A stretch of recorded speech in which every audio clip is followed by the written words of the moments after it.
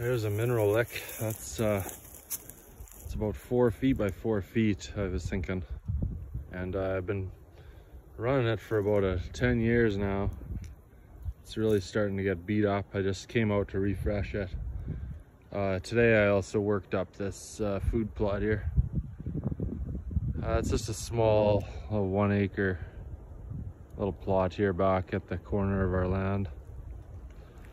And uh, trying to trying to revitalize it a bit. I've kind of tried a few food, food plots over the years without limited success. But um, this year, going radishes and turnips and uh, gonna have a water trough. Gonna put that over here.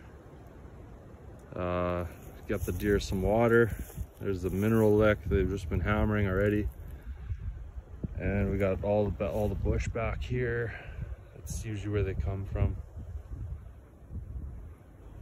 It's paradise. I'll go show you the ground blind there after.